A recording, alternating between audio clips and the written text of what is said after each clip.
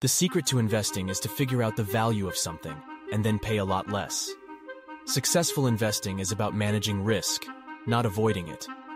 The biggest investment risk is not the volatility of prices, but whether you will suffer a permanent loss of capital. The only place where success comes before work is in the dictionary.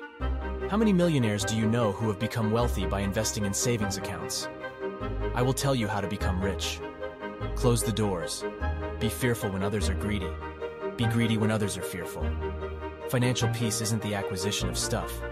It's learning to live on less than you make, so you can give money back and have money to invest. You can't win until you do this. I never attempt to make money on the stock market. I buy on the assumption that they could close the market the next day and not reopen it for five years. Know what you own, and know why you own it. The key to making money in stocks is not to get scared out of them.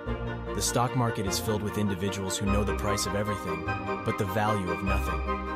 Every once in a while, the market does something so stupid it takes your breath away.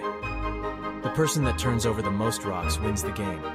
Behind every stock is a company. Find out what it's doing. Never invest in a business you cannot understand. Buy when everyone else is selling and hold until everyone else is buying. That's not just a catchy slogan. It's the very essence of successful investing. In any investment, you expect to have fun and make money. The future is never clear. You pay a very high price in the stock market for a cheery consensus. Diversification may not always provide a profit, but it will always provide protection. Do not be fearful when others are fearful. Be greedy when others are greedy. If you have trouble imagining a 20% loss in the stock market, you shouldn't be in stocks. The individual investor should act consistently as an investor and not as a speculator. I never attempt to make money on the stock market. I buy on the assumption that they could close the market the next day and not reopen it for five years. If you aren't thinking about owning a stock for 10 years, don't even think about owning it for 10 minutes.